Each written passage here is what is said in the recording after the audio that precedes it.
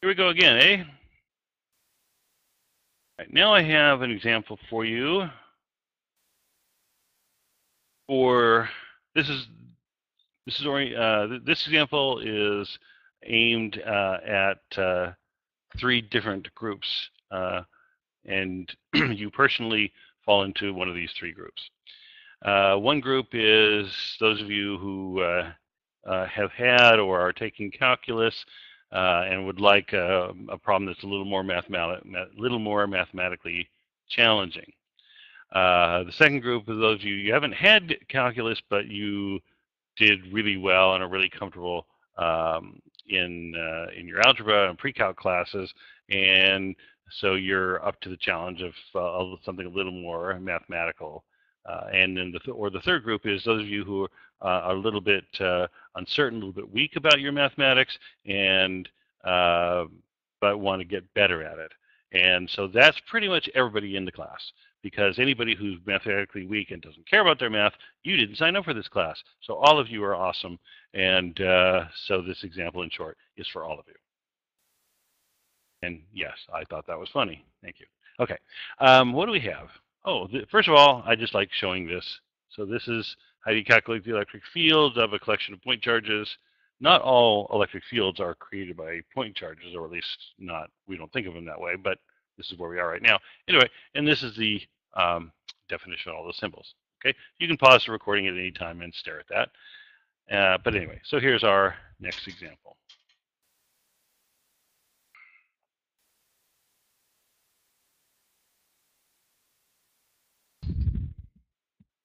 So we have two positive charges that are identical to each other, and they are separated by some distance that I'm calling d. And uh, of course, they create an electric field, and they create an electric field that exists everywhere in space, three-dimensional phenomenon. Uh, but the one specific point in space where I want to calculate the field is at a point that's directly above the midpoint between them, and so that's what all of this means. Okay, so let's, you can, if, if you didn't get all that, again, just pause the recording, read that through, wrap your head around it. But in any case, here comes the step one, draw a diagram. I am rather emphatic uh, about always drawing a diagram to start with. I've said it before, if you can't see it, you can't solve it. And I hope I sort of uh, really showed clearly how useful that was in the previous example and this one uh, as well. All right, so, so we have, uh, oops, we have a couple of positive charges. Okay, so we have a positive charge here. Now it doesn't tell us their orientation, except it hints at it. We the place where we want to calculate the field or the location of our point P, in other words, is going to be above the midpoint of the two charges. So that sounds like maybe we should locate them uh, horizontally. And so our point P is, well, let's see. They are distance d apart.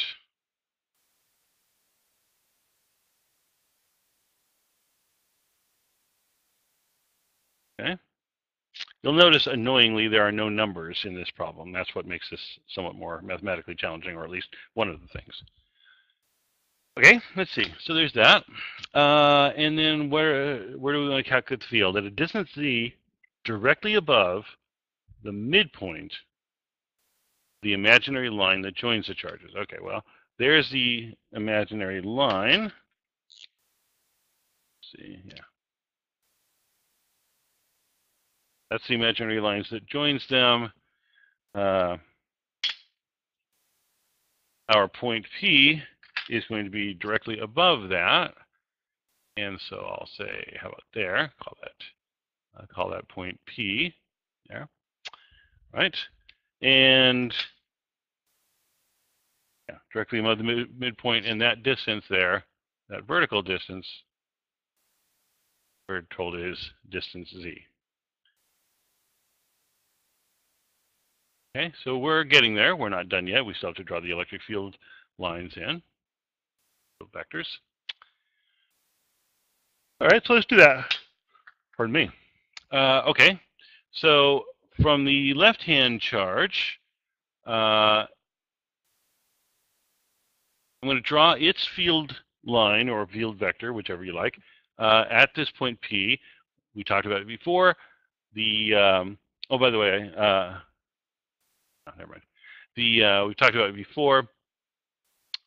The electric field line points away from positive charges and points towards negative charges. Okay, and so and radially away, and so at the point P, its field is going to point like that.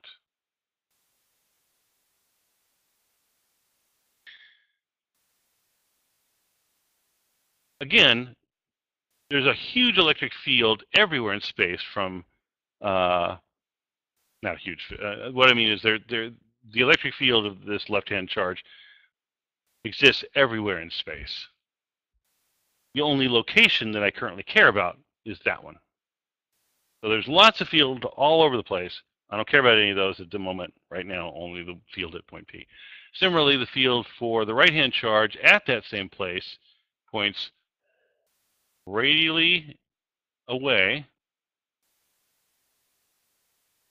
And since we're told the two charges are identical, and because of the geometry of the situation, the distance that the left-hand charge is from the point P has to be the same as the distance that the right-hand charge is from the position P. So these two distances are equal. So the charges are equally far away from the point in question, which mean, and the, the, the charges have equal numbers of coulombs. We're not told a number for that, but it doesn't matter. Okay, and therefore it follows automatically that the magnitudes of those two fields must be equal. The directions are not the same, but the magnitudes have to be the same. Okay, so think that through. Make sure you're clear on that. All right, and so the total field here is going to be the vector sum, the superposition of these two fields.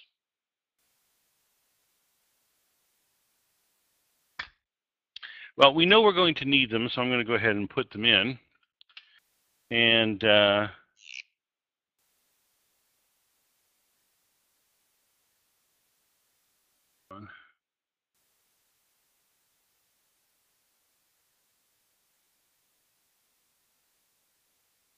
that distance there is how far the source charge is from the point, the left-hand source charge, how far the left-hand source charge is from the point P. Label that R. Now, I could label that, maybe I should label that R1, but I'm not going to for reasons I'll explain in a moment. There's the distance for the other one. I'm also going to call that R, and the reason I'm not going to label them R1 and R2 is because they have to be equal. We argued that a moment ago. Since they are the same numeric value, there's no real reason to give them differing subscripts. Okay? You could if you wanted to, and then replace it at the end, but whatever. Let's do it like this. All right, so there's that. And I think that's the entirety of the diagram. Step two, impose a coordinate system on this. All right, so let's see. Let's uh,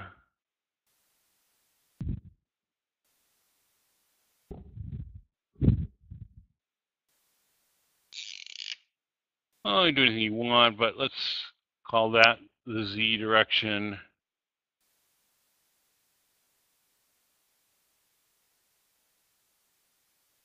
And that's the y direction. Same choice that I made uh, in the previous example.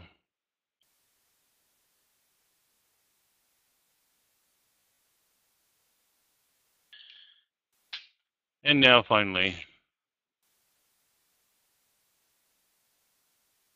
solve.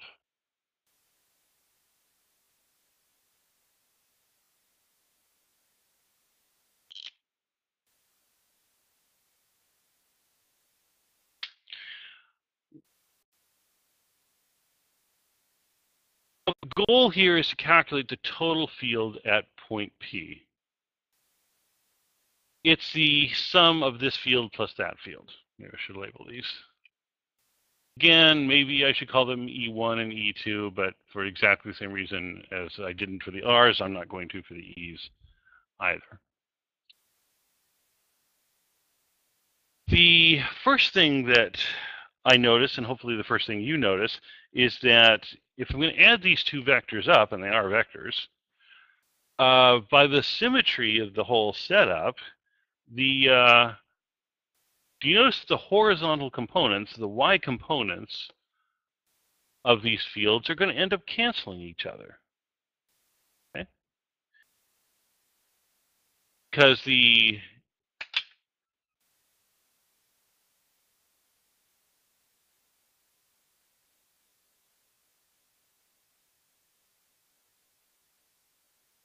Sorry for that hiccup. Somebody came in the room while I was chatting, so I had to talk with him.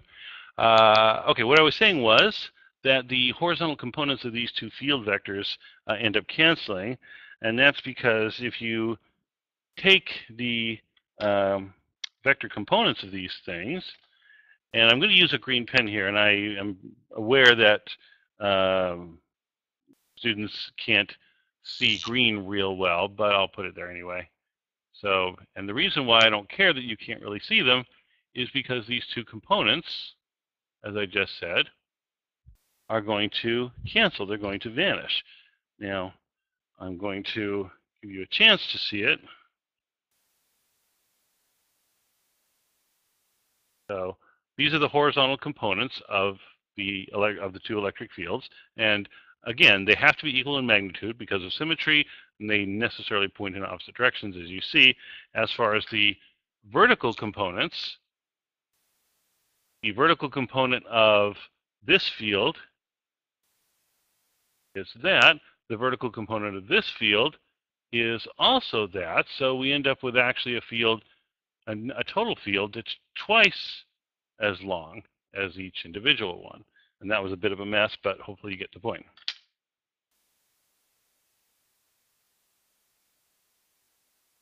Okay.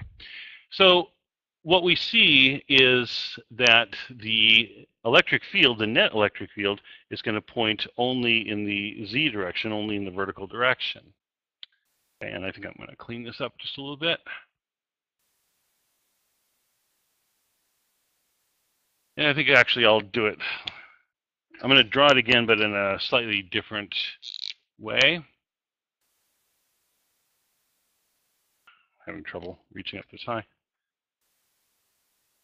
I'm taller than my wife, but I'm not tall.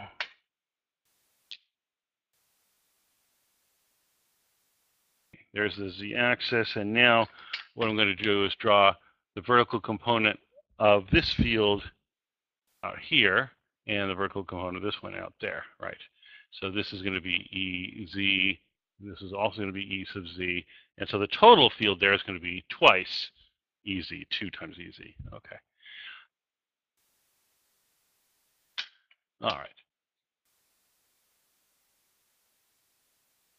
So what that means in turn is that we're going to have to break these two field vectors into their uh, y and z components, which means we're going to need trig functions. That in turn means that I need an angle.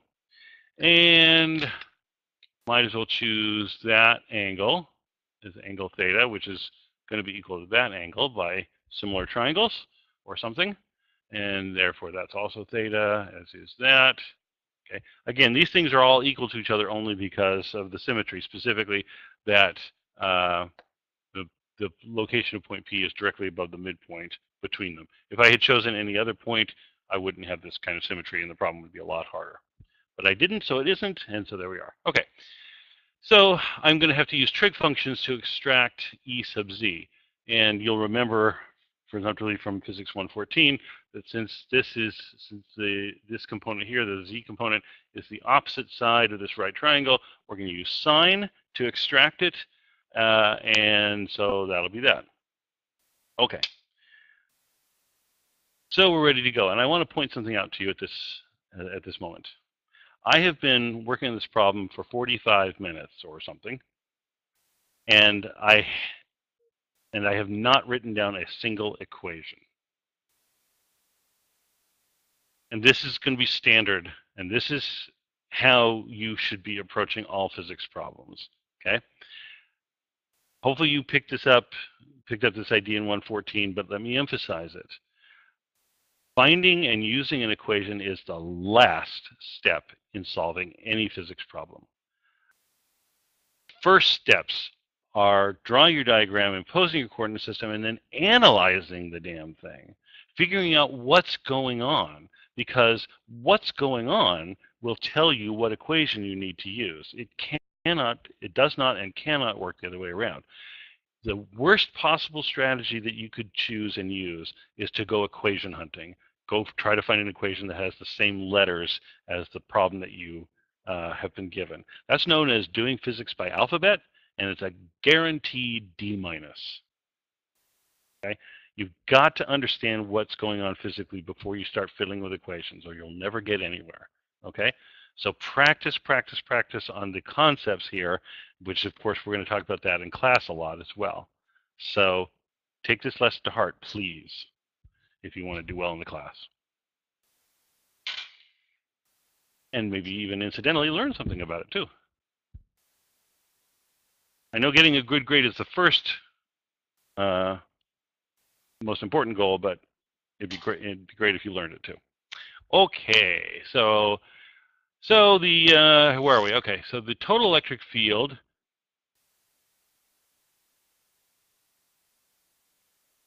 Going to be only vertical because the horizontal components cancel.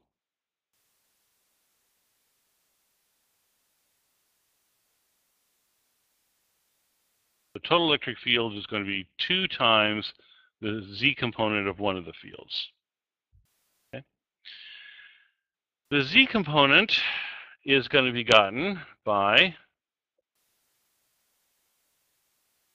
k q over r squared times, and then we multiply all of this by sine of theta. Now, you might think, oh, okay, hooray, we're done. That wasn't so hard.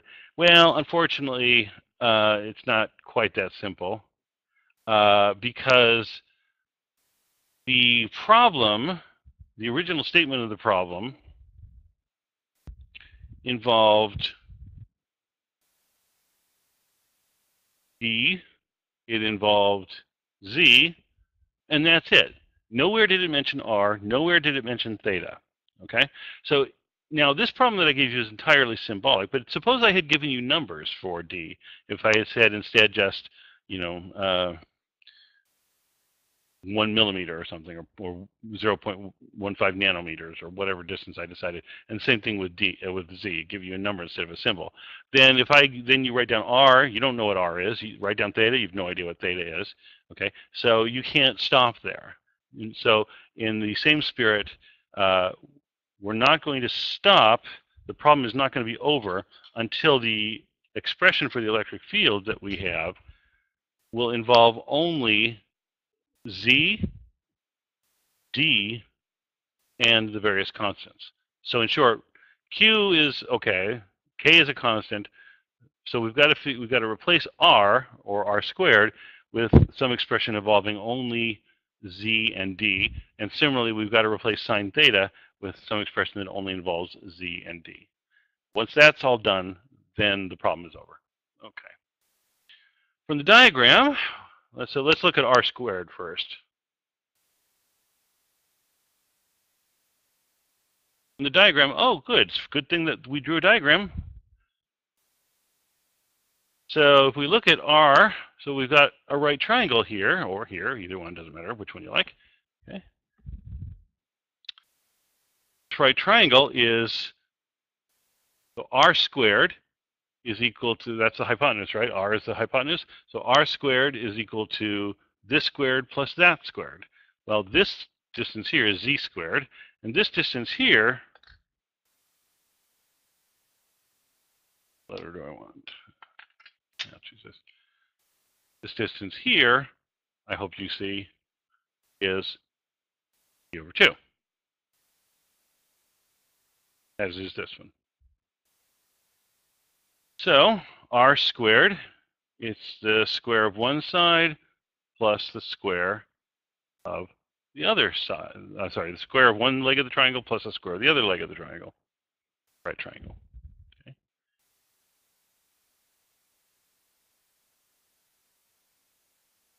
As for sine theta, let's see, sine is what? Opposite over hypotenuse, right? So for this theta, but I don't I don't know anything about this theta, but I can figure out theta using this right triangle. So theta is opposite, that's z, divided by hypotenuse, r, okay? z over r. So r squared we've got, that involves only z and d in some way. Sine theta, we still have an r there, but that's all right. I'll just take the square root of this expression here. Square root of, uh, actually, do it like this. I'm going to write the square root using an exponent instead of square root for a reason that will become clear in a moment. Okay, so, and there we go. We've replaced sine theta also with an expression involving just z and d. Okay, and now all I have to do is substitute these back and I'm done.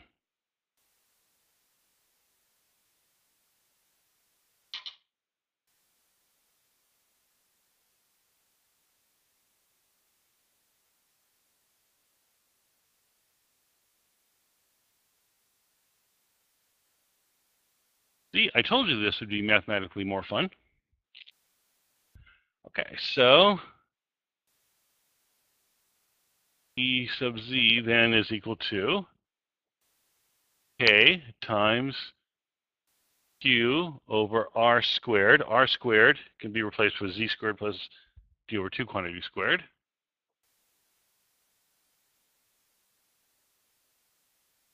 times sine of theta, which is this.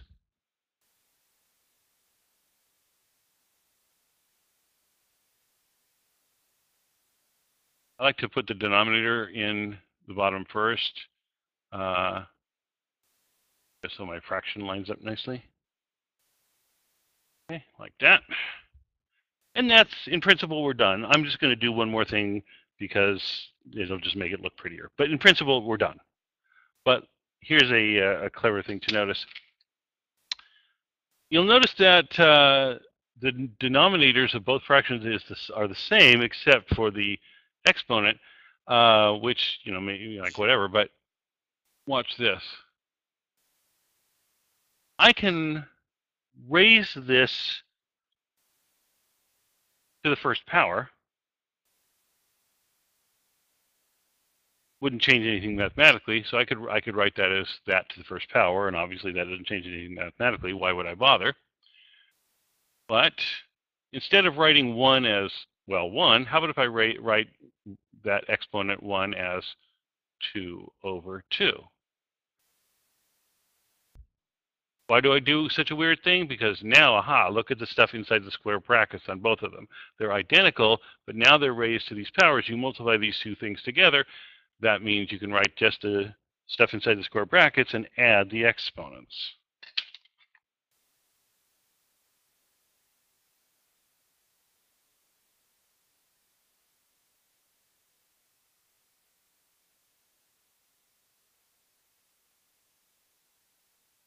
Two halves plus one half is three halves, and multiply the numerators as well. So we get that. And so finally, actually, I'm sorry, we weren't quite done because this is the z component of only one of the fields, but we uh, need the total field, which is the sum of both of those. But now we can add them directly because, as we established earlier, these z components obviously both point in what? The z direction. So I said that was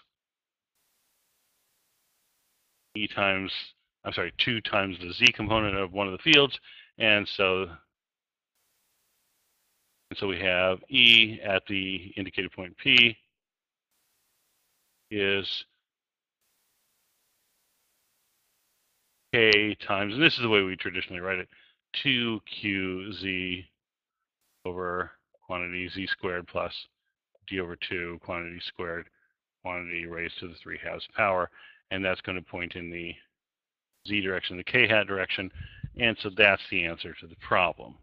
Okay, that's the real nice answer. So I mean, I could just do this and then multiply this whole thing by two without combining the denominators, and I wouldn't uh, I wouldn't complain other than point out that you could have done this. But this is kind of the cute way of doing it. So there's that. And so what do I want you to get out of this thing? What do I want you to get out of this example? One, I want you to become comfortable with doing problems purely algebraically without any numbers at all. Uh, as we get further and further in the course, we're going to be doing this more and more often because the equations simply become too cumbersome, frankly, for numbers. Okay, and we need to draw general conclusions uh, from the equations and from the expressions rather than specific numeric values for any given random problem. So start getting comfortable um, with purely algebraic problems and purely algebraic solutions. Second of all, the, the crucial importance of drawing a diagram. You gotta draw your diagram. If you don't, you won't get anywhere. I promise you. Okay? And then I, I emphasized it before, I'm emphasizing it again. I spent most of my time analyzing the problem and thinking it through. 80% of the problem was just spent thinking about the physics. 20% was doing the math. Okay? And that's the least important part of the problem. If you get this far, if you write this and stop there and just say, oh, and then you got to multiply by two, well, we, I, I'm happy. Okay, the rest of that stuff is just cute mathematical ni niceness. This is the physics, and this getting up to this point here, from from the beginning of the problem to the end of the word so, that took me 80% of the time. The rest of this took me 20% of the time. So spend your time thinking about the physics. The math comes last. All right. Well, uh, there's more things to say about electric fields, and this time it's time to shift gears once again, go back to concepts. And uh, I threatened to do it last time. I didn't do it this time, but I will. Next lecture will be on what in the world is the deal with the direction of the electric field lines, the electric field vectors, and is there more to say about electric field diagrams?